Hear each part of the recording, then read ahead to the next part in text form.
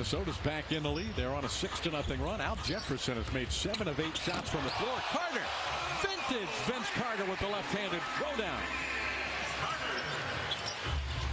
Now that was half amazing. His first. His first 13. Now Vince Carter knew he was going to meet some resistance from uh, Darko Milicic. So he's taking it strong with the left hand.